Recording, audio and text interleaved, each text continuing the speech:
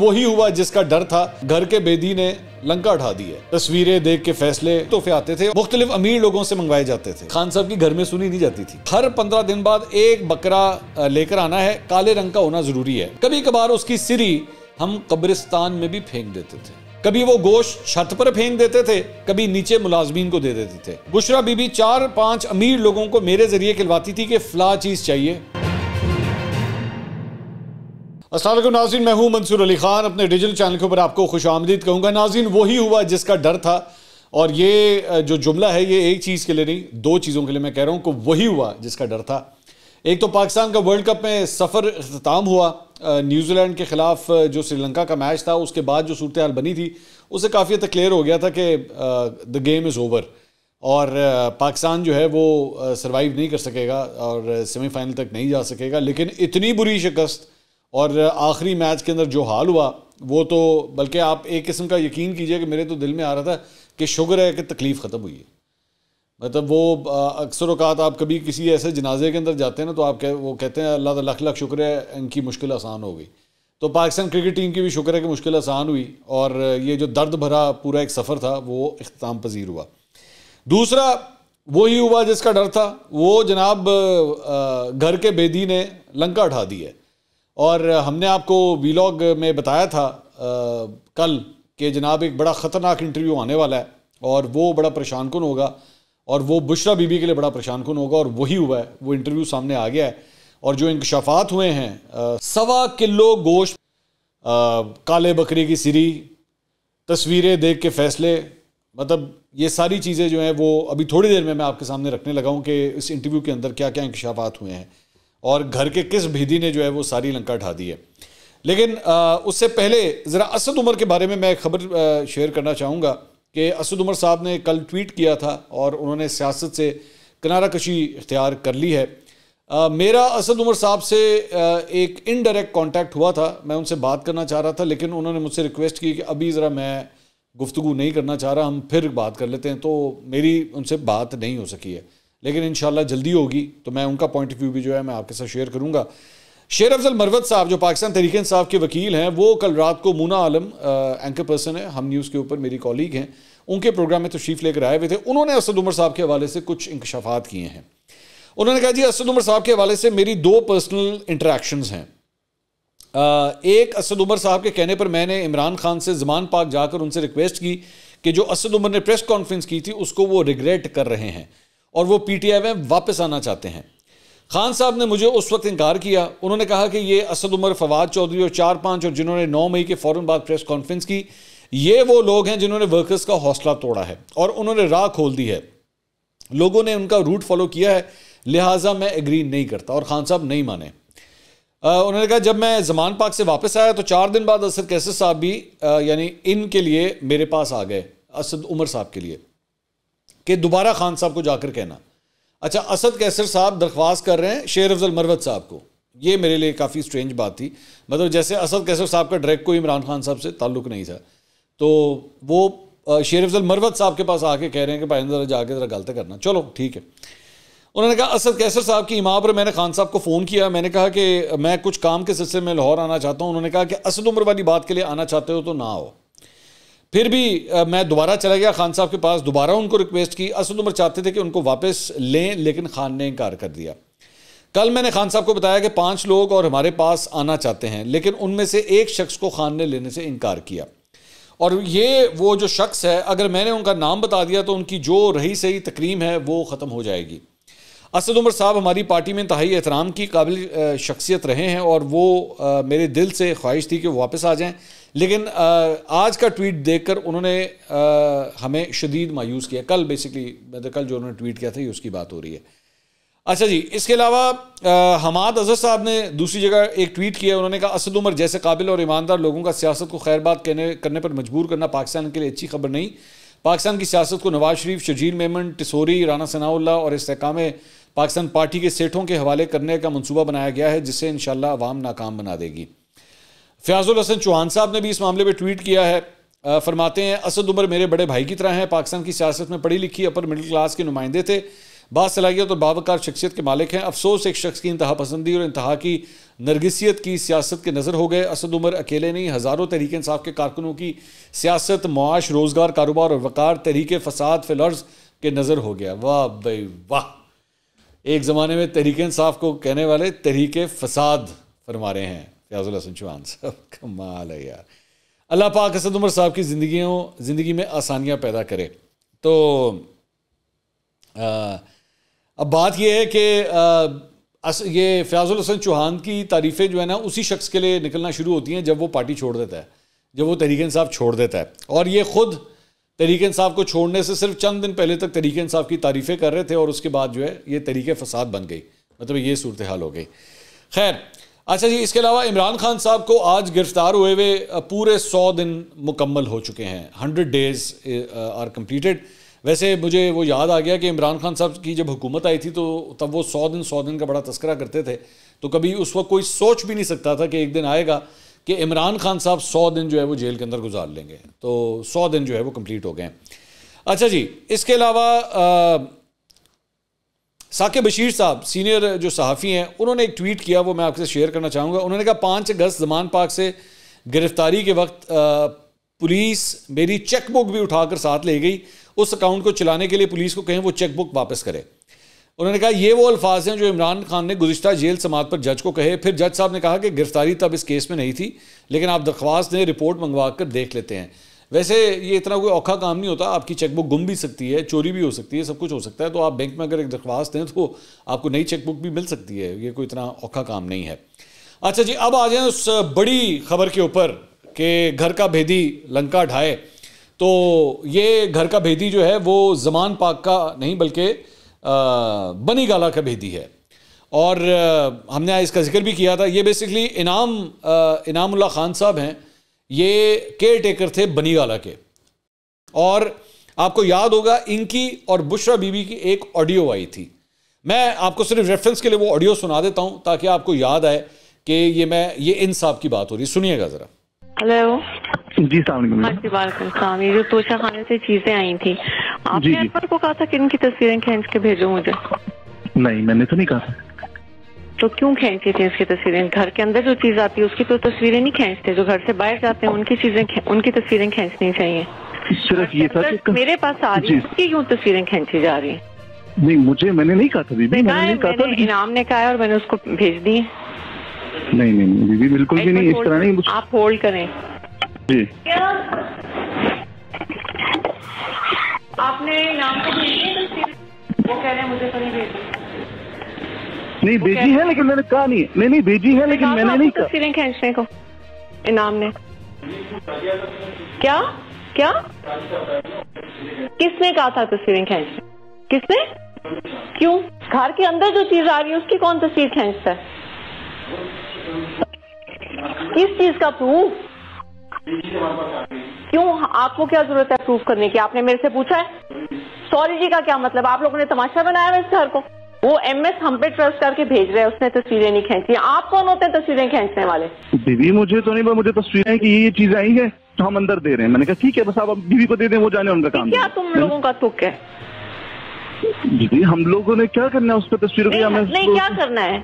क्या करना है? आज के बाद तुम अब अंदर नहीं आओगे घर के। समझ आइए तुम्हें? ठीक है। ये तस्वीरें लेके वहीं रहो जान तुम बैठे हो। ठीक है।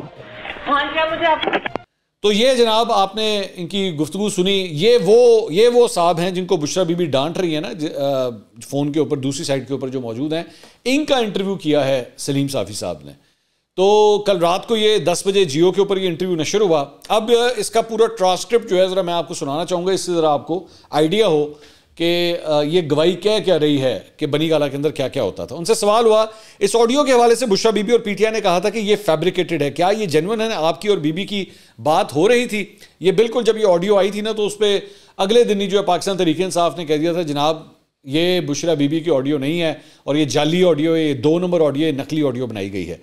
तो इनामुल्ला साहब कहते हैं, जी, ये जेनवन है। ये मेरी और बुशरा बीबी की बात हो रही है। मेरा मोबाइल था और उनका लैंडलाइन नंबर था। उन्होंने मुझे कॉल किया और बाकी आपने सुन ही लिया आपने भी सुन लिया उनसे सवाल हुआ तो फिर उन्होंने क्यों इससे इनकार किया? इनामुल्ला कहते हैं, ये तो आप उनसे पूछें, क्यों इनकार किया? मेरे पास तो सारी चीज़ें मौजूद हैं। हती कि जो तस्वीरें हैं, वो भी मौजूद हैं। सवाल हुआ कि ये तस्वीरें किस चीज़ की थी? तो वो कहते हैं, ये कुछ चीज़ें थी जो तोशा खाना से आती थी। तोशा खाना वाले हमें कॉल कर देते थे। इसमें हमारे लड़के होते थे पीएम हाउस के, कि बीबी से पूछ लें कि इनमें से कौन सी चीज़ें रखनी है आपने और कौन सी चीज़ें हम तोशा खाना में भिजवा दें। ये जो चीज़ें आई, उसके साथ एक लिस्ट भी आती थी तो जो चीज़ें आई वो कम थी। लिस्ट में कुछ ज़्यादा चीज़ें लिखी हुई थी। और ये पहले भी होता रहा है और मैंने अपने पास रखता था, क्योंकि मुझे इनका भी पता था कि अगर ये कल को मुझसे पूछ लेती हैं कि फ़लानी चीज़ कम है, ये तो तुम्हारे से होकर आती है तो मैं गरीब आदमी, उनको वो चीज़ें कहाँ से पूरी करूँगा? तो मैंने इसलिए अपने पास रखी थी कि ये ये ये चीज़ें हैं। उनसे सवाल हुआ, क्या क्या चीज़ें थी जिनकी तस्वीरें आपने बनाई बनाई थी? उन्होंने कहा, मुख्तलिफ़ चीज़ें थी, कालीन थे, खजूरें थी, डिनर सेट थे, इस तरह की चीज़ें थी, कुछ खास नहीं था, कोई ज्वेलरी सेट वगैरह नहीं था, मुख्तलिफ़ ममालिक के लोगों ने भेजी हुई थी तोहफे के तौर पर वजी अजम को। उनसे सवाल हुआ, आपके तस्वीर लेने पर बुशरा बीबी इतना गुस्सा क्यों थी? उन्होंने कहा, तस्वीरें बनाने पर बुशरा बीबी को शक हुआ कि मैं किसी और को तस्वीर भेजता हूँ और मैं प्लांटेड हूँ। इसलिए उन्होंने कहा कि तुम आज के बाद घर नहीं आओगे।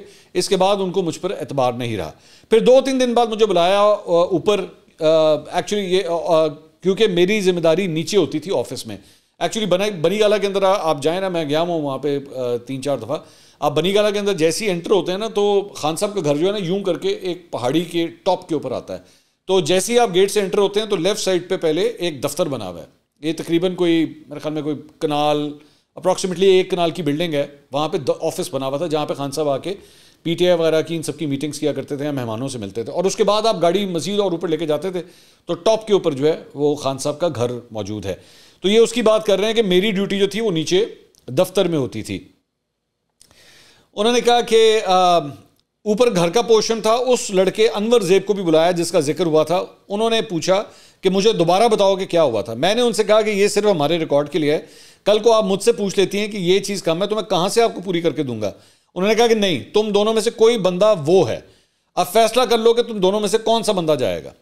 जो दूसरा मुलाजिम था, वो पहले बहुत तंग आ चुका था। उसने मेरे आगे हाथ जोड़े कि तुम चुप कर, मैं जाना चाहता हूँ। उसने उसी वक्त कह दिया कि मुझे जाने दें। तो उसको निकाल दिया गया और उसके हफ़्ते दो हफ़्ते बाद मुझे भी निकाल दिया गया। मतलब इनामुल्ला को भी निकाल दिया गया। उनसे सवाल हुआ कि ये तोशा खाना से रेगुलर चीज़ें आती थी। तो उन्होंने कहा, बिल्कुल आती थी। प्रोटोकॉल वाले हमें कॉल कर देते थे कि ये चीज़ें आई हुई हैं, जो ये सिलेक्ट कर लें, वो रख लें। तो हम 50 परसेंट अदायगी करके रख लेते थे। फिर उनसे सवाल हुआ कि पीएम के कौन ज़्यादा करीब थे और किसके ज़रिए ये चीज़ें ज़्यादा हैंडल होती थी। मैंने सुना है कि फैसल जावेद के भाई खुरम के ज़रिए ज़्यादा चीज़ें होती थी। तो वो कहते हैं, जी, बिल्कुल। खुरम को इस तरह की चीज़ों की खसूसी इंस्ट्रक्शंस थी। मैं ज़्यादा बेगम साहिबा के साथ था और वो पीएम के से पीएम के ज़्यादा करीब था और वही देख रहा था। उनसे सवाल हुआ, तोशा खाना के अलावा भी तोहफे आते थे? तो इनाम साहब कहते हैं, जी, बनी गाला में तोशा खाना के अलावा भी तोहफे आते थे और मंगवाए भी जाते थे। मुख्तलिफ़ अमीर लोगों से मंगवाए जाते थे। वाह, साफ़ चली, शफाफ चली तहरीक इंसाफ चली। ताल्लुक ही सिर्फ़ अमीर लोगों से रखा जाता था, गरीब लोगों से ताल्लुक नहीं रखा जाता था। कमाल। फिर उनसे सवाल हुआ, जब खान साहब बनी गाला चले जाते थे तो रात के वक्त किस तरह के लोगों का आना जाना था? तो वो कहते हैं, जी, मुख्तलिफ़ तरह के लोगों के, लोग आते थे। ए और ऐसे भी लोग आते थे, जिनका हमें कहा जाता था कि इनका नाम ना गेट पर बताना और ना सिक्योरिटी स्टाफ को बताना है, सिर्फ़ गाड़ी का नंबर बताया जाता था। फिर उनसे सवाल हुआ कि बीबी के ज़्यादा करीब कौन था? तो वो कहते हैं, जी, शुरू में जुल्फी बुखारी ज़्यादा करीब थे, बुशरा बीबी के ज़्यादातर बातचीत भी उनसे होती थी। फिर दरमियान में पता नहीं क्या हुआ, उन्होंने जुल्फी बुखारी को मना कर दिया, उनका नंबर भी ब्लॉक कर दिया। फिर मेरे ज़रिए उनको मैसेजेस भिजवाए जाते थे, मुख्तलिफ़ तरह के मैसेजेस होते थे। सख्ती वाले मैसेजेस भी होते थे, सुनाने वाले मैसेजेस भी होते थे। उनसे अच्छा यानी ये भी इंकशाफ है कि जुल्फी बुखारी साहब को भी ब्लॉक कर दिया गया था। फिर उनसे सवाल हुआ, क्या ये बात सच है कि आपके ज़रिए कुछ लोगों को डांट पिलाती थी या रुसवा करती थी? तो उन्होंने कहा यह बिल्कुल हकीकत है। मेरे ज़रिए लोगों को डांट भिजवाई जाती थी, जिस पर लोगों ने खान साहब को गिला भी किया कि आप हमें बर रास्त कह दें, आप इनाम के ज़रिए हमारी बेजती कर रहे हैं। उन लोगों के नाम नहीं लूँगा, लेकिन इसमें बड़े बड़े पार्टी रहनुमा भी शामिल थे। भाई वाह। बुशरा बीबी इनाम के ज़रिए बड़े बड़े पार्टी रहनुमाओं को डांट पिलवाती हैं। और उसके बाद आप अंदाज़ा कीजिए कि ये लोग कहा करते थे कि जनाब, बुशरा बीबी का सियासत का क्या ताल्लुक है? उनका सियासत कोई वो तो घरेलू खातून है। इधर ज़रा कहानियाँ सुने क्या क्या हो रहा है यहाँ पे। उसके बाद उन्होंने उनसे सवाल हुआ कि जहांगीर तरीन को फारिग करने में बुशरा बीबी का भी किरदार था। उन्होंने कहा, जी, बिल्कुल था। बुशरा बीबी को एतराज़ था कि खान साहब की वजह से ये लोग मशहूर हुए हैं और फ़ायदे लेते जा रहे हैं। इमरान खान का नाम इस्तेमाल कर रहे हैं। जहांगीर तरीन से ज़्यादा नाराज़ी पंजाब के मामला की वजह से थी। उनको इस पर एतराज़ था कि उनके लगाए हुए बंदे बुजदार से ज़्यादा जहांगीर तरीन क्यों मशहूर हैं और लोग क्यों उनकी इज़्ज़त करते हैं? ओन चौधरी पर बुशरा बीबी को शक था कि वो जहांगीर तरीन और अलीम खान के वफादार हैं। हलफ उठाने की रात में ओन चौधरी मैं और ओन चौधरी लोगों को कार्ड बांटते रहे। अचानक नईमुल हक की कॉल आ जाती है कि कल आपने नहीं आना। क्योंकि बुशरा बीबी ने ख्वाब देखा है कि आप उनके लिए अच्छे नहीं हैं। ये हकीकत है। बल्कि मैं इसमें और भी ऐड कर देता हूँ कि ओन चौधरी को इमरान खान साहब ने मैसेज भी किया था। और वो मैसेज आज भी ओन चौधरी के पास पड़ा हुआ है। और वो यही मैसेज था कि बुशरा बीबी ने ख्वाब देखा है। और बुशरा बीबी चाहती हैं कि कल हलफ बरदारी की तकरीब थी। इमरान खान साहब ने वजी अजम का हलफ लेना था। तो तुम वहाँ पर नहीं आओगे। और ओन चौधरी सत्ते में चला गया था। ऐ क्यों है मेरे नाल? अच्छा उसके बाद उनसे सवाल हुआ कि खान साहब, बुशरा बीबी के फैसलों को रजिस्ट नहीं करते थे? तो आगे से जवाब हुआ रिएक्शन अगर दे भी देते थे तो उनकी सुनी नहीं जाती थी। मतलब खान साहब की घर में सुनी नहीं जाती थी। बुशरा बीबी की बात मानी जाती थी। एक मरतबा मुझे बीबी की कॉल आती है कि एक मुलाजिम जो बीस इक्कीस साल से खान साहब के साथ था, उसको अभी के अभी फारिग करो। वो पिंडी गया हुआ था। मैंने उसको कॉल की कि, मोहतरमा, ये कह रही हैं कि अभी आके सामान उठाए और चला जाए। उसने कहा कि मैं आ जाता हूँ। थोड़ी देर गुजरी तो फिर बीबी की कॉल है कि उससे कहो कि अभी के अभी आए, वरना हम सामान बाहर फिकवा देंगे। वो बेचारा आ गया। अगले दिन खान साहब ने मुझे कोई चीज़ दी कि उसको दे देना। मैंने कहा कि उसको तो रात को निकाल दिया है। खान साहब ने पूछा, किसने निकाल दिया? मैंने कहा कि बेगम साहिबा की कॉल आई थी, आपके ऑर्डर हैं कि जो बेगम साहिबा कहें तो उन्होंने कहा अच्छा ये रखो, वापस आएगा।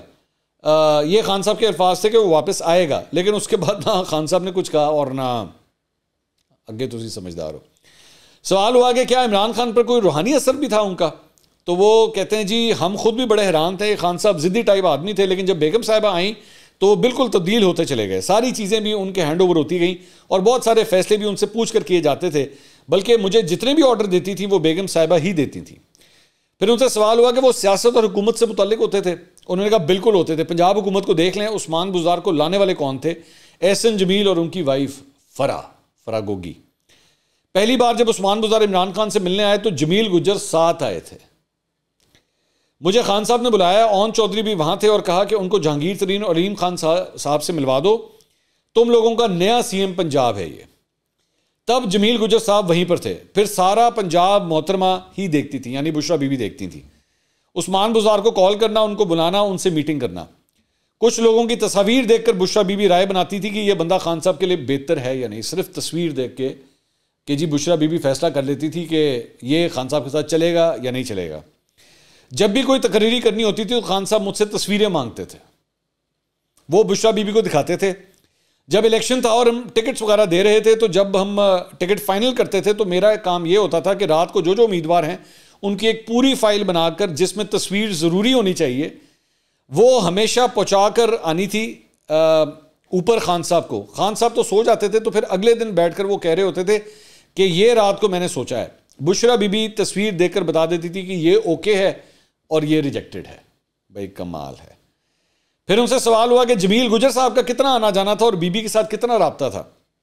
उन्होंने कहा, जी, जमील गुजर शुरू में आए थे लेकिन जब वो डीपीओ रिजवान वाला वाक्य हुआ था उसके बाद जमील साहब नहीं आए फरा आती रहती थी चार पाँच मरतबा आई थी, लेकिन फ़ोन पर उनके साथ हर वक्त रबता रहता था। फिर उनसे सवाल हुआ कि हम तो सुनते थे कि जादू टोने का अमल होता था, बकरे ज़िबा होते थे, इसमें कितनी हकीकत है, या फिर सुनी सुनाई बातें हैं? तो उन्होंने कहा, जी, बकरे ज़िबा होते थे, हमें बताया जाता था कि खान साहब का सदका है। अब मुझे कहा गया था कि हर पंद्रह दिन बाद एक बकरा लेकर आना है, काले रंग का होना ज़रूरी है। वैसे रोज़ाना सवा किलो गोश्त पर खान साहब हाथ रखकर ऑफ़िस जाते थे। मंगल और बुध को नागी की वजह से मुर्गी आती थी। कभी वो गोश्त छत पर फेंक देते थे, कभी नीचे मुलाजमीन को दे देते थे। बकरे का गोश्त हमेशा मुलाजमीन को दे दिया जाता था कि ये आपके लिए बना बना लें। कभी कभार उसकी सिरी हम कब्रिस्तान में भी फेंक देते थे। सवा किलो गोश्त के ऊपर खान साहब हाथ फेर के जाते थे।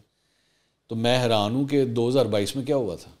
गोश्त मुक्के गया सी, ये काले बकरे नहीं लाभ सन फिर उनसे सवाल हुआ कि वजरा और हुकूमत को चलाने में बीबी का क्या किरदार था? खान साहब को क्या मशवरा देती थी? तो वो कहते हैं, जी, खान साहब डिस्कस करते थे, बीबी से खास तौर पर पंजाब हुकूमत में उनका किरदार होता था।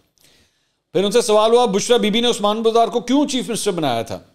और वो कहते हैं, जी, क्योंकि उनको पता था कि ये मेरे हाथ के नीचे रहेगा और बुजदार की हैंडलिंग भी वो खुद करती थी। फिर सवाल हुआ, जी, मोहम्मद बिन सलमान की जो मशहूर ज़माना घड़ी है और तहाइफ हैं, उनकी क्या हकीकत है? तो वो कहते जी, मुझे भी पहले आइडिया नहीं था। हुआ ये कि बेगम साहिबा ने मुझे तीन करोड़ रुपए कैश दिए और कहा कि जाके खान साहब के अकाउंट में जमा करा दो, क्योंकि खान साहब के अकाउंट में कितने पैसे होते थे, मुझे पता होता था। मैंने कहा, खान साहब ने तो बहुत सख्ती की हुई एक रुपया भी आए तो पूछते हैं कि कहाँ से आया है? तो उन्होंने कहा कि अगर पूछा तो कह देना कि मैंने घर की कुछ चीज़ें बेची हैं, उससे आए हैं। मैंने कहा, ठीक है, मैंने जाकर जमा करा दिए। बाद में मुझे पता लगा कि वो पैसे उनकी तारीख और जो घड़ी बिकी है, वो सेम सेम है। घड़ी के बिकने और पैसे जमा कराने की तारीख एक ही है। विंग कमांडर खुरम सारे तोहफों का मामला देखते थे। बुशरा बीबी चार पाँच अमीर लोगों को मेरे ज़रिए खिलवाती थी कि फ़ला चीज़ चाहिए। खान साहब को चाहिए या बुशरा बीबी को चाहिए तो वो भिजवा देते थे। पार्टी के भी थे और कुछ वैसे भी लोग थे। भाई वाह, ये रियासत मदीना बन रही थी, है? फिर उनसे सवाल हुआ कि खावर माने का इब्राहिम या बुशा बीबी के दूसरे बच्चे हुकूमती मामला में कोई सरोकार रखते थे? तो वो कहते हैं कि जी, बिल्कुल रखते होंगे। पंजाब में रखते होंगे, लेकिन बनी गाला में वो लोग आज तक नहीं आए। बुशरा बीबी के सबक शोहर और उनके बेटे कभी बनी गाला नहीं आए। अलबत्त एक छोटी बेटी थी जो कभी कभी आ जाती थी। बुशरा बीबी अपने बच्चों से फ़ोन पर बात करती थी। उनसे सवाल हुआ कि खान साहब आखिर बुशरा बीबी के इतने ताबेदार क्यों थे? क्या कोई रूहानी असर था? तो वो कहते हैं, जी, हम खुद भी हैरान थे कि खान साहब बुशरा बीबी के इतने ताबे कैसे हो गए? ये जनाब पूरी कहानी है। जो इनाम साहब, जो केयर टेकर रहे हुए बनी गाला के, और घर में क्या हो रहा था, किस तरह गोश्त बढ़ता था, छत पे रखा जाता था, लोगों की तस्वीरें देख के फैसले हो रहे थे, किसको क्या उदा देना है, टिकट देनी है कि नहीं देनी है, और घड़ी किस तरह बिकी, तीन करोड़ रुपया किस तरह जमा हुआ, ये सारा कुछ आपने जान लिया। अब मैं जानता हूँ कि पाकिस्तान तरीकन साहब के लौंडे लपाड़ों ने कहना पाए ए झूठ है सारा? उन्होंने ए टू जेड उन्होंने सब कुछ कह देना है। लेकिन बात यह है कि इस सारी गुफ्तु को अगर आप, इसमें से कुछ पोर्शन को भी अगर आप उस ऑडियो के साथ मिलाएँ जो ऑलरेडी हम आपको सुना भी चुके हैं तो बात में काफ़ी हद तक सच्चाई जो है वो नज़र आती है। अगली वीडियो में आपसे दोबारा मुलाकात होगी। अल्लाह हाफ़